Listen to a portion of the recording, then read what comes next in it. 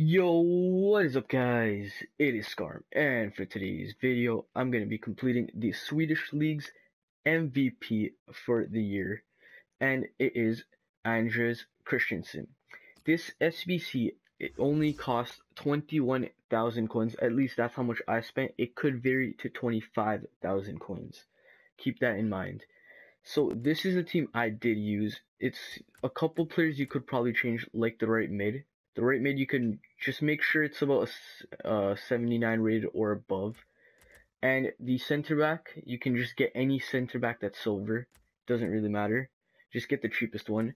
The left back, it doesn't matter either. You just get the cheapest left back you can. Left mid, get the cheapest left mid you can. And striker, get the cheapest striker you can. Make sure they're all from the Swedish league and they're all Swedish. That's the only way this will be possible. The left mid might be able to be changed to any nationality. Not 100% on that. Actually, no, it will not because the striker will be off chemistry. So that is the team. Make sure you get Füllkrug. I got him for 12,000 coins. You can get him for about 13ish, 14ish K now because he did increase just slightly over the past 20 minutes. So this is the team, guys.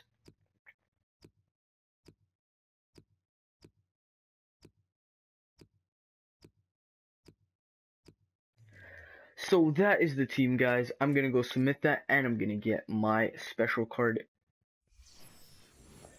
And there we are. It's completed. So that is going to be the video, guys. Please make sure to like, comment, and subscribe and I will see you next time. Peace out.